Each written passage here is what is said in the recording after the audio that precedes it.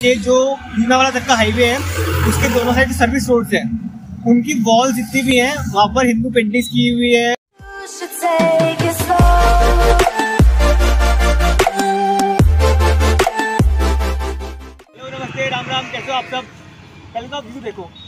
अच्छा है।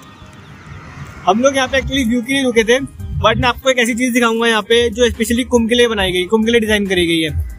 यहाँ पर लच्छी वाला से लेके जो भीमावाला तक का हाईवे है, उसके दोनों साइड सर्विस रोड्स हैं।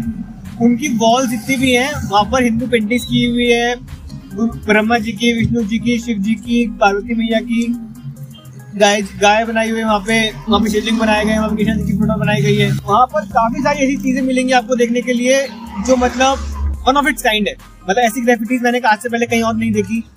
वही चीज़ें कुंभ के लिए भी रेप्लिकेट करी गई है। जो चीज़ें यहाँ पे पेंटिंग बनाई गई है, वो कुंभ के लिए हरिद्वार में भी बनाई गई है। यहाँ पर आपको उत्तराखंड के चार धाम, नंदा देवी, जो यहाँ का हिमालयन रीजन है, पूरा उसकी झलक देखने को मिलेगी। आपको फूलों की घाटी, केदारनाथ, बद्रीनाथ यमुनोत्री गंगोत्री, इनकी झलक देखने को मिलेगी आपको। ऋषिकेश लक्ष्मण झूला इनकी जो पेंटिंग्स हैं, ये बहुत ही हाईली स्किल्ड प्रोफेशनल्स हैं। इन लोगों ने पेंटिंग बनाई है। तो आज हम देखेंगे पेंटिंग